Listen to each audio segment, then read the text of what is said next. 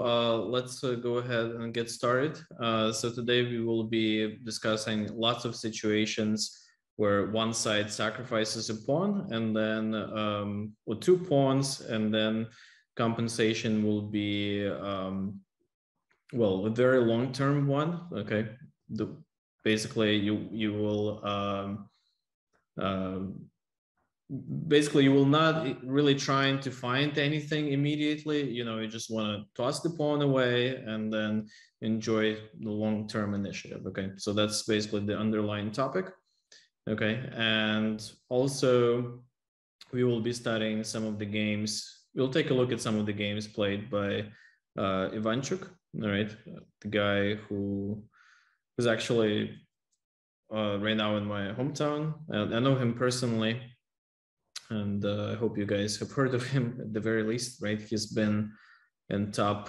uh, in top ten for like 25 years, uh, I would I would say. All right. Now now I'm sure he he's uh, retired. Uh, but okay, we will get started then uh, with some of the some of the computer games right here. Okay, and we'll have our first training exercise right here. Okay, so you need to decide how to recapture that knight, pawn, bishop, or queen. And then as usual, type your, type your answers in the chat and then we will discuss. All right, so I see uh, a few of you have suggested the correct uh, response. Um, well, absolutely the best is bishop d4, which is a little bit surprising. Um, normally we would definitely want to take with the pawn, but here bishop d4 is even cooler, okay? So why is that? Well, let's figure this out. If uh, bishop d4, then c5, of course, and I assume that's why many of you have have said, you know, we're not doing this.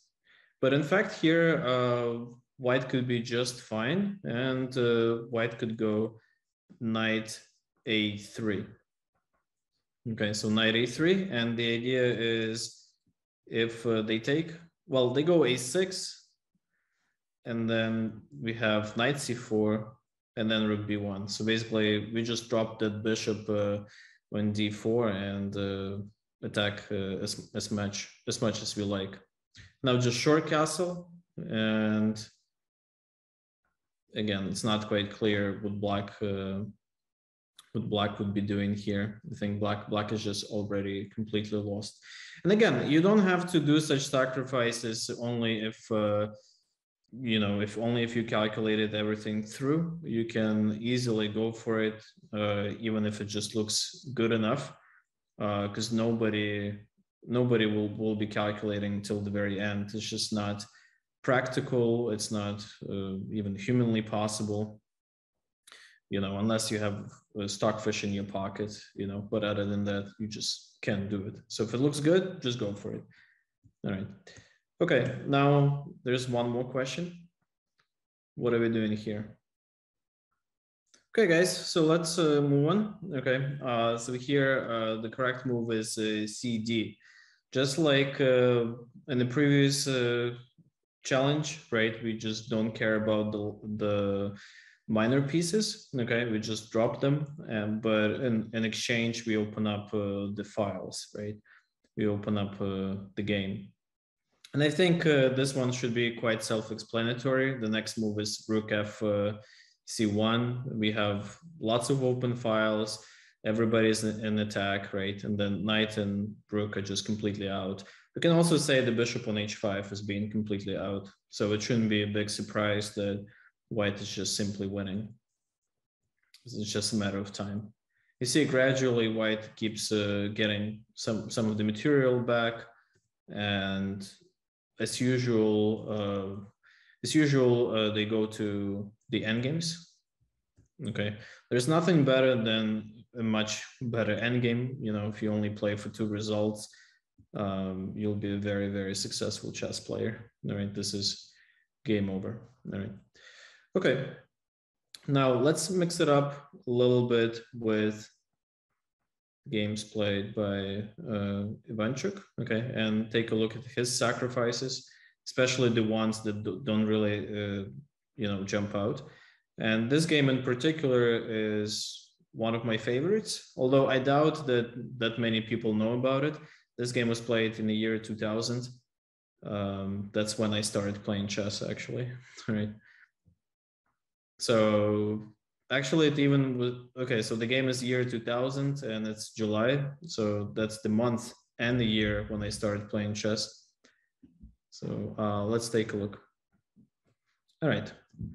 We'll start from here. Uh, by the way notice that the previous move was a5 so they sacrifice the pawn on d4 right? They don't recapture it. They do something different.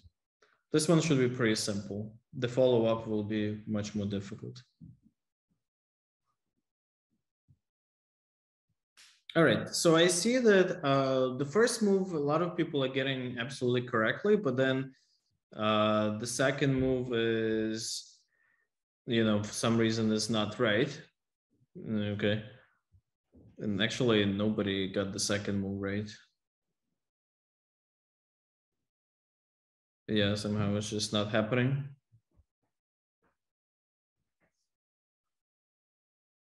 All right. Well, in a lot of cases, we're not getting the first move correctly either, you know, but all right, let me show you the first move. So e4, I thought this one should be more or less uh, self-explanatory. I mean, we, we have to push uh, the knight. Uh, the knight has to be pushed all the way to e1. But then here, somehow knight b6 was not on anybody's mind. At least uh, I didn't see any anybody typing it. All right, so yeah, knight b6. Then we take, take. Now knight a4. So trying to go knight b2 and then bishop d4, right? Uh, so that's uh, pretty pretty simple. All right. Now bishop c3, and here comes the most one of the most difficult parts in this game. Okay, black to move. I see a lot of you uh, suggesting uh, C5, which is not a bad idea, but you can you can uh, do it uh, better. Basically, you can make a certain move, and then and then C5 a little bit later. But it's not it's not immediate C5.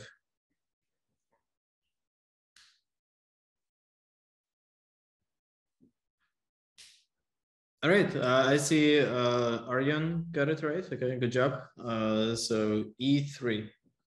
Yeah, that's absolutely correct. Uh, so E3, and then, uh, so it kind of reminds me of checkers, you know, because everything is on the dark and white has to take everything. And maybe that's why now nowadays Ivanchuk is like really into checkers it's like his uh, main hobby, you know. So now it's c5, and then if they take, then we go uh, knight c3.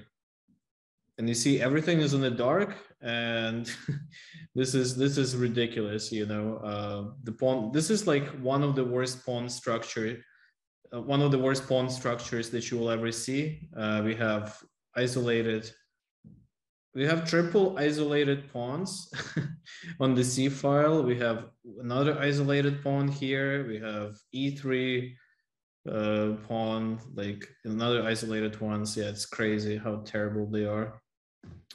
So effectively, effectively, you can say that uh, if we count pawns properly, we can discount two pawns really easily here. So we can even say that I know it may sound shocking, but we can even say that the material is even here, roughly speaking. All right. You may say, okay, they up three pawns, but what pawns exactly are extras? Like, I don't see it. Like, what is extra, right? They're also horrible. All right, so knight, I mean, queen d2, the queen comes in. Uh, now here we can take on e3 immediately, but you know that's not how great chess players play. Uh, we need to go knight g4. So the the threat is always uh, stronger than its execution, right? Then queen e3. Now knight f2. So that's that part is pretty simple. And now black is uh, pretty much uh, almost winning. All right. Okay, and here try to figure out what's next. Black needs to do something effective and finish the game. Nobody got it. Actually, wait a second. No, somebody got it right. Oh, okay. Andy, Andy got it right. Okay, yeah, good job, Andy.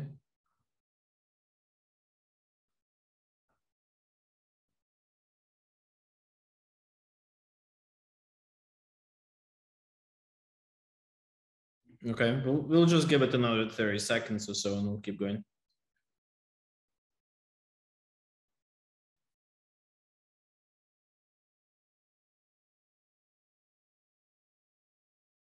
All right. Okay, so seems like, um, well, I see some of you got the first move right, but then um, the second move is not correct. So the first one is rook a4, which honestly should be the first move that you uh, calculate because that's the most forcing move. All right. Now, uh, but the question is, what happens if they take back?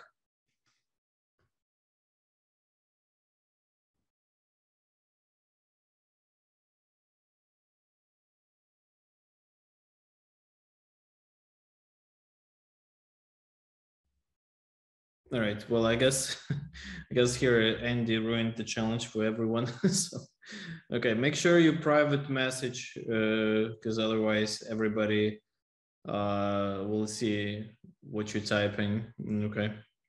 All right. So bishop h3, and then um, this is it. Game over. Takes bishop g2, obviously mate in two, and if king g1, then bishop c3 and then bishop d4, or they lose a queen. So either way, black is winning. So yeah, truly phenomenal game. Uh, you know, triple pawn sacrifice and then slow play. Quite quite impressive. All right. Okay, let's uh, move on. Okay, so now let's take a look at some of the okay back to the engine games.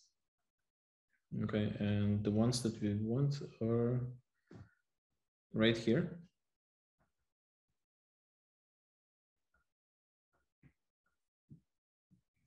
Uh, maybe we'll skip this one for now. And we will skip this one real quick. We'll get back to them at one point. Whenever I open this file, it's just the order is always is completely random. All right. Okay, let's uh, uh, do this one, and then we will get to the toughest challenge. Okay, we'll start with something not so difficult. Okay, here it's white to move. I see people are bragging in the, the chat how many games they have. I'm like, guys, I have the whole new newest database, which is like 9 million or whatever that is. Plus, I have a Lichess database that is like 15 and a half million games. So So I think you, you plus there's the correspondence database that is like 2 million games. All right, anyway.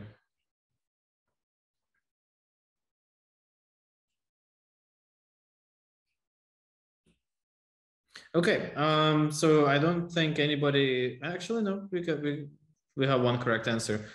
Um, so rook c1, yeah. Um, is it Seper? Uh, I'm not quite sure if I'm how, if how to pronounce the name correctly. Probably butchering it, but yeah, good job. Um, the idea is to go rook c1 and then rook g1. Okay, the, the point is that you need to get the rook into the game. All right, now here comes the difficult part, okay, which I'm not sure if it, this one will go too good if if you had issues with rook c1, but we'll still try. Okay, we'll we'll stay optimistic. All right. Um, so try to figure out what can white do in this situation. By the way, notice that white is uh, down a pawn, but they just really, really don't care. Okay, in fact, uh, the extra pawn uh, on c7 or c6, well, whichever it is, it doesn't really matter.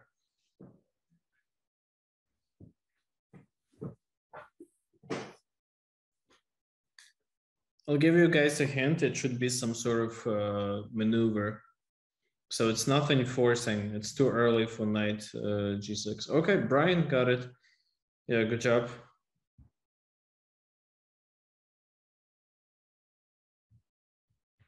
Brian and Andy.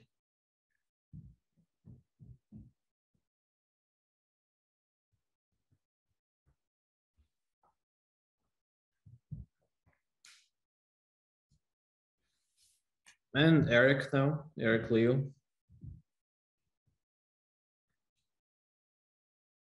Okay, all right, let's take a look at the solution, all right? So the move was bishop c1. Okay, so the idea is to get the bishop uh, to a3, and then the knight on e7 would be pretty horrible, right? Then you may ask yourself, okay, but what if uh, black uh, gets the second pawn on um, d4, right? But in fact, if we count the pawns properly, then we realize that c7 and c6 don't matter. So in, in this situation, we can say the material is um, even, okay? It would not be a stretch by any means, okay? Again, c6 and c7 virtually don't exist, okay? So, and if we discard them, if we really don't care about them, then, um, then yeah, then, then, you know, making moves like bishop c1 would be a lot, a lot easier. All right. And if the rook retreats here, then some sort of knight g6 wins uh, on the spot. It should be pretty simple. All right. Okay. Um, going back to our human hero. Okay, Ivanchuk, right here. Okay. We will yeah, let's let's do um, the one against this dude. And the index will be C11. Second. Okay, right here. Okay, let's start with some easy challenges. Okay, so here it's white to move.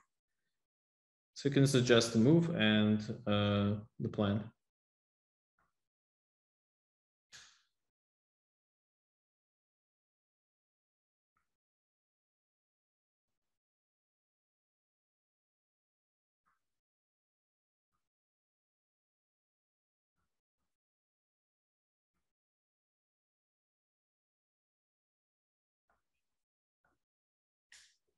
Guys in the chat, let's focus on finding some good answers, okay? And chat, like only private message me, okay? Because if it's not related to to the lecture, then you know you can talk about it after the class.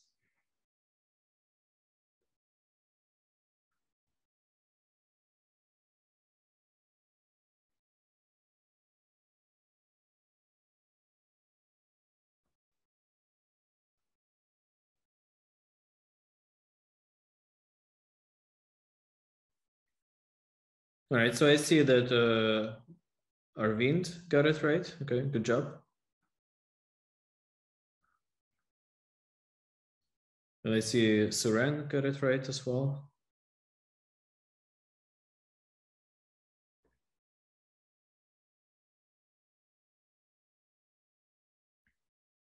Okay, we'll keep uh, going. All right, so the correct move here was rook g1. Okay, rook g1 and then g4. Nothing too difficult. Um, you know, it's just a standard idea. You have to go g4. That's like the only viable plan, right? Um, so yeah, nothing too complicated here. All right. Um, yeah, moving on. Now they go rook g1, and this move is quite impressive. So what's going on here? Um, that uh, white sacrifices the pawn on f4 and they don't really care. Okay, they just sacrifice it and keep attacking like nothing happened. Okay, so why why is that? Well, I, I, I'm pretty sure this move was almost like a provocation. You know, they were really trying to invoke um, FG. You know, maybe Black was thinking that White will play knight. I mean, Rook uh, G4, Knight F5, and maybe things will not be so bad. You know, maybe they will still be able to hold. So I'm pretty sure this pawn sacrifice was completely unexpected. And otherwise, I feel like from Black's perspective, uh, capturing on G4 looks like a decisive mistake.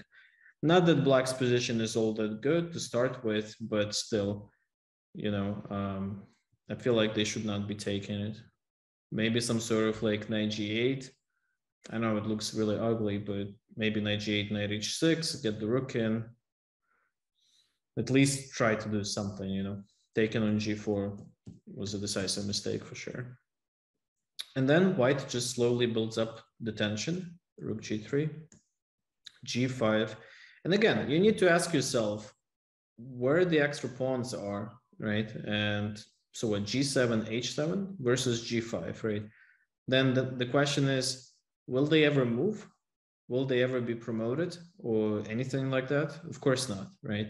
So in that case, we can simply say that material is even so nothing nothing really matters you know it doesn't matter that nominally they have an extra pawn it's all the same okay black goes rook uh, f5 which which is probably a good defense. You know they're trying to at least maybe build some blockade.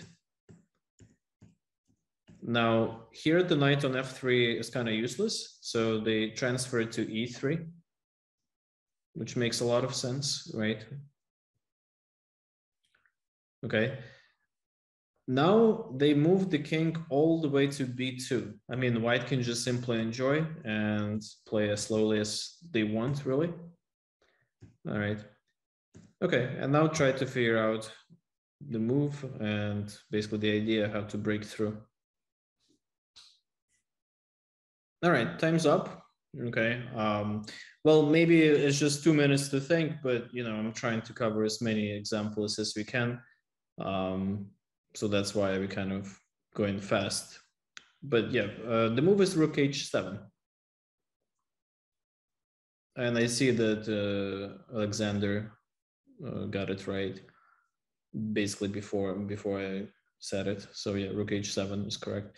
Rook h7, then knight g6, and now this is it. Knight f4, rook h6, and game's over yeah, this is a complete massacre at this point. Yeah, I'm done. All right. Yeah, this is this is done. All right, moving on uh, to the next example. Okay, let me run you through the com computer games real quick as well. Because I prepped so much stuff, it, it almost feels like it's gonna be enough for like one year but uh, unfortunately we have like one hour only. All right. Okay, we will uh, skip through this. I just wanted to show you that sometimes even the engines play like some uh, funny openings. Like in this case, it was the, the wing gambit, or as I like calling it, a, a Sicilian gambit. I like Sicilian gambit much better. Um, and I played it. I, I used to play it on a regular basis uh, until I was 2300 FIDE. Okay, so so basically you can play whatever opening you like until a certain level and be completely fine. All right, so it's kind of funny. Yeah, I had really great success with it. In fact, my first international master norm that I got when I just turned 12, um, you know, I've been beating international masters with this this move. All right. One one of the one of the cool ideas here that I discovered only like in 2015. Apparently, I didn't. I had too much free time on my hands, and I found this idea. E4 and then short castle, queen f6, bishop e4, queen a1, queen b3, queen uh, yeah, queen f6, rook e1, bishop e7, and then a b. All right. In fact, you know what? You can um, you can use this position as your homework, you know, or just like some extra uh, assignment. You can uh, basically analyze this, try to anal analyze to analyze this position yourself, then with the engine, and then um, come up. I mean, come up with some evaluation and the conclusion, like what's going on in this position and how can black defend. By the way, this this variation is a really great example that you can even be down a rook, basically, right? But um, you still have you can still have a great position, even though white doesn't even have any sort of tactics or anything. Um, white is doing great no matter what. Okay. So I, I think the correct evaluation here, by the way, is uh, zeros. Okay. If you like, you can even take a screenshot or something like that. And yeah, definitely, uh, definitely go deeper through this position. All right. Or you can just remember it, obviously. Okay, but uh, going back to the game. All right, there we go. You can obviously uh, analyze this after the class and stuff. No need to do it now. Okay, we'll start with easy questions. Okay, so how do we recapture uh, the bishop, queen or knight? All right, so the correct answer is the queen. Okay. Um, so I know lots of uh, people have uh, prejudice. They think, oh, I'm down a pawn. I cannot trade queens. And that's a completely wrong notion. In fact, it's just simply not right. You cannot trade queens if you have a lost position, but being down a pawn doesn't mean that you're losing. All right, so here queen b5 is perfectly fine. If knight takes, then I believe the problem was knight a6 and then knight c5, and something was going on on d3. All right. In this situation, uh, white just uses the precise calculation as you would expect from the engines. Okay, so knight a7, the knight gets to c8. By the way, this is a highly unusual uh, setup with the knights on c8 and knights on, on b6. Um, I did a search in the mega database and just out of curiosity, I thought I would find like almost no, no games. Apparently I did find some. Uh, so how many, how many positions do you think I found with the knights being on C8 and B6? You can just say a random number, you know, just no need to think too hard. You cannot know precisely.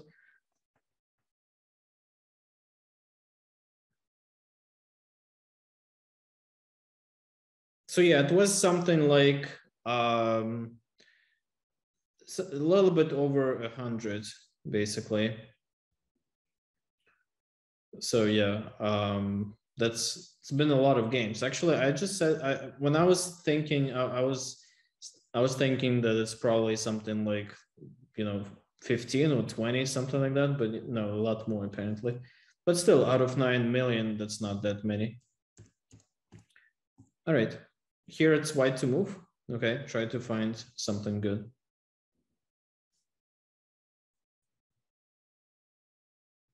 Okay, so time to reveal the correct move. Okay, uh, so yeah, basically uh, we have to go rook a5 here.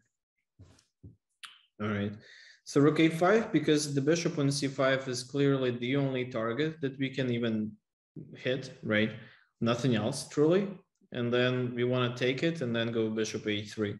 It's a quite quite straightforward thing, but you always need to be looking for targets. All right. So now um, now e3, kind of unexpected. I think if pawn takes the knight e4, I would assume. Rook c5, bishop a3. Okay, now where the king should go? All right, I guess we can move on since uh, uh, I feel like almost everybody participated. I mean, lots of lots of answers. Um, all right. Um, okay, so the correct move here was king f3. All right, so you, here you, you need to use the method of elimination, right? If you go king e3, then, well, here black can go like 94. They don't even have to take on c3. Well, king e1 just looks way too sketchy. I don't know, it just looks so dangerous. I would not even consider it probably. But king f3 is perfect. And now we have some really cool line here. If rook f2, then um, king e3, and then I believe it was something like this, which again, doesn't happen very often. We have a really beautiful position here. All right. Um, okay, so yeah, let's uh, keep going. Now let's run through some of the examples here. Now in this one, I wanted to show you the white played Evans Gambit. That's why there is no b2 pawn. Okay, everything else is the same, but there is no b2 pawn. And eventually they get to this situation. And the key to this position is to understand that c3 pawn is a completely, well, useless pawn. Okay, we don't even need to protect it. If you go like c4, then black goes bishop a6 and I would say that you know they will they will be able to probably trade the light square bishop and we'll trade a few of our pieces and it's just not going to be fun. So that's why you just need to let it go. And the correct move here was knight f1. Okay, so knight f1, we let it go. And then knight g3 what do you think is the evaluation here, like in decimals? So try to evaluate this position and, you know, say something like plus one or negative one if you think black is better, for example. You guys remember the scale, right?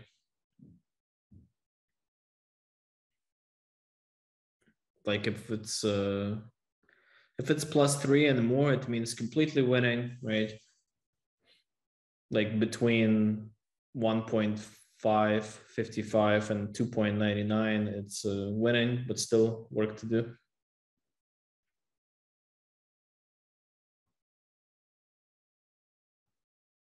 yeah point point 75 roughly speaking until 1.55 is uh, much better like plus over minus. Much better but not close to winning just yet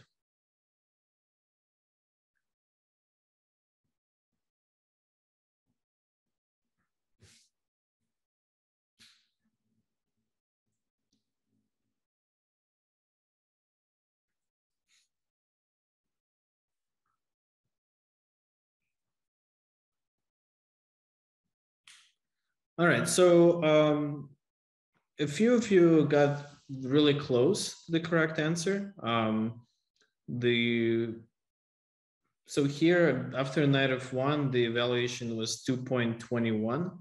And then just a few moves later, it was more than plus three. Okay. Um, so yeah, it was it was just winning for white basically. All right, now uh, again, how to count pawns properly. So d6 and d7 are just like one pawn, okay? So we easily discount them to one. And then uh, the other extra pawn is like this one on b6, right? But the thing is, it never moves to b5. And if it never moves to b5, then we might as well uh, discard that pawn too, okay? So it wouldn't be a surprise to say that in fact, the material is more or less even, and white at this point is just um, kind of on a free roll. Okay, so the material is even. So that's the key. All right, the key to understand such positions is to understand that if extra pawns don't move, like ever, they don't matter at all, right? Like, do we care if black even even if they do move? You know, we don't really care, right? B5, b4. Okay, congratulations. What's next, right? So yeah, now the rook comes in. And now this is the end, right? This is pretty much done. Just one, one last uh, question, okay? So you have three different captures, bishop c7, queen f6, and bishop f6. Okay, so try to figure out which one you like the best. Okay, uh, I see. Uh, yeah, some of you got it right. Uh, I see uh, Kevin, Austin, um, Josh, and Angela, and Aryan as well. Yeah, good job. All right, so yeah, Queen f6. Okay, this is a good example of a relative value of pieces. Again, I hope nobody here uses a pawn system anymore. You know, that's uh, complete beginner stuff. So I hope nobody's thinking rook is five points, bishop is three. Okay, it doesn't really work that way. All right, so here a pretty big mistake would have been bishop c7 because here black can buckle up after knight c5 and then d6, you know. Still, of course, it should be much better for white just because again we have uh, pawns and maybe we will in the end game we still will be better. But of course it's going to be an uphill battle right? Far easier is to play queen f6 and then simply promote the pawns right? Yeah that's that's much better. Okay now uh, let's run through this one I don't know why, but sometimes Chessbase has this glitch where it opens the game on a completely random moment. I don't know why. why does it do it? But anyway, it's sometimes it's pretty buggy. But yeah, anyway, uh, so let's talk about this one. So it's white to move. All right, 20 seconds left. You guys still Okay, 20 seconds left. You guys still have a chance. Oh, actually, more, less than 20. Okay, 10 seconds left. So it's not bishop h6, it's not bishop uh, g5, and it's not bishop d5. Bishop doesn't take anything.